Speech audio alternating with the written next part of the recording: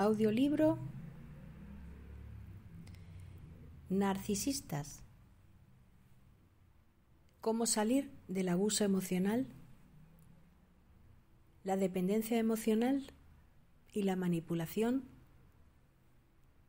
de psicópatas, narcisistas, depredadores emocionales y personas tóxicas. Escrito y publicado por Bárbara Logan. Narrado por Bárbara Logan.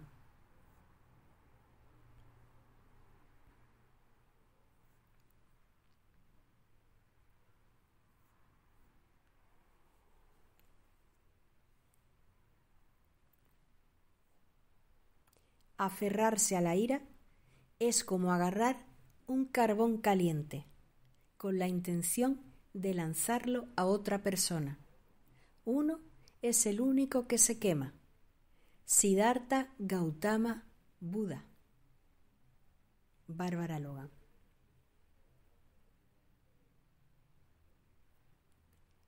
Dedicatoria a Daniel Kahneman, Premio Nobel de Psicología por la Real Academia de Ciencias de Suecia y profesor emérito de la Universidad de Princeton. A Steve Pinker, profesor de psicología de la Universidad de Harvard. www.stevepinker.com. A Boris Cyrulnik, psiquiatra de la Universidad de Toulon. Boris IPE. Francia a J. Mark J. Williams, profesor de Psicología Clínica y Mindfulness de la Universidad de Oxford. www.oxfordmindfulness.org barra people barra Mark Williams. A Paul Salkovskis, profesor de Psicología Clínica y Ciencias Aplicadas de la Universidad de Oxford.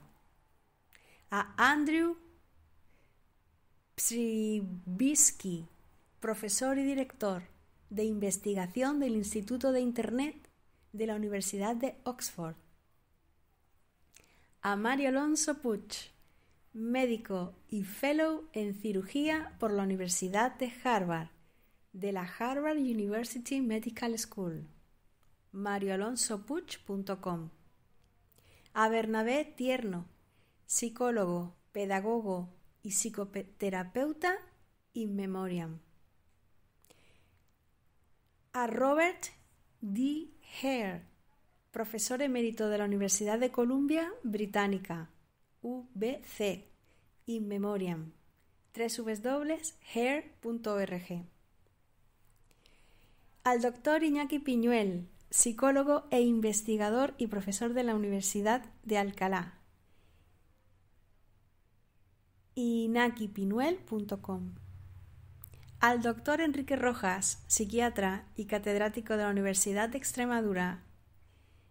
ieip.es A la doctora Marian Rojas Estapé, médico psiquiatra por la Universidad de Navarra y miembro del Instituto Español de Investigaciones Psiquiátricas IEIP.es. A Rafael Santandreu, psicólogo y escritor. www.rafaelsantandreu.es. A la doctora Ramani Dubarsula de la Universidad de California, California State University. drramani.com. A Sam Backing, psicólogo y escritor. Sam tripod.com A Martin Seliman, psicólogo de la Universidad de Princeton. www.authentichappiness.sas.upen.edu. A Matthew Ricard, monje budista y escritor. www.matthewricard.org. A Daniel Gonelman, psicólogo. www.danielgoleman.info a Howard Gardner, psicólogo y profesor de la Universidad de Harvard. howardgardner.com. A Walter Rizzo, psicólogo y escritor. walterrizzo.com. A Bernardo Stamateas, psicólogo y escritor. presenciadedios.com. A Marisa Pierce, marisapeer.com. A Vishen Lakiani, empresario, escritor y orador motivacional. A todas las víctimas de perversos narcisistas, psicópatas, depredadores emocionales, personas tóxicas y manipuladores emocionales. A ti que tienes en tu vida un narcisista junto a sus monos voladores, progenitores, familiares, compañeros de trabajo, jefes tóxicos o compañeros de colegio. A mis amados abuelos José Gámez Jiménez y Leonor Ruiz Oliva, in memoriam, personas vitamina, por enseñarme el valor del amor incondicional, el equilibrio emocional, el autorrespeto, la autoestima, la educación emocional, el cariño nutritivo y la salud física y salud emocional. A mi Yorkshire Terrier, Terrier Petit, in memoriam, genio de la inteligencia emocional.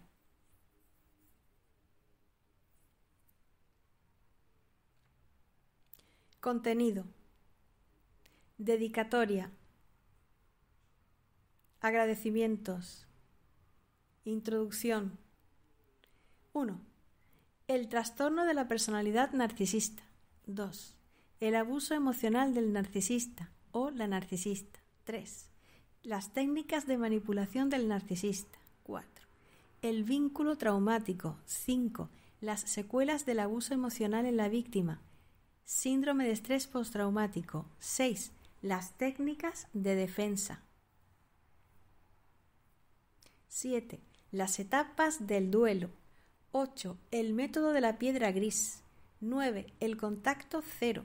10. La madre narcisista. 11. La identidad personal y autoestima. 12. La dignidad. 13. La asertividad. 14. Conclusiones. 15. Nota final de Bárbara. 16. Bibliografía. 17. Renuncia de responsabilidad legal. 18. Derechos de autor. 19. Índice de contenido. 20. Acerca de la autora. Agradecimientos. A todas y todos los perversos narcisistas, psicópatas, depredadores emocionales, personas tóxicas y manipuladores que he conocido por inspirar este libro.